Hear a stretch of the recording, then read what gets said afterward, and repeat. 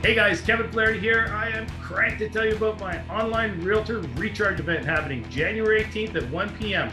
We're going to be sharing an all new strategy that you've never seen before for generating business right now. It's going to blow your mind, and our team is the only one that's doing it.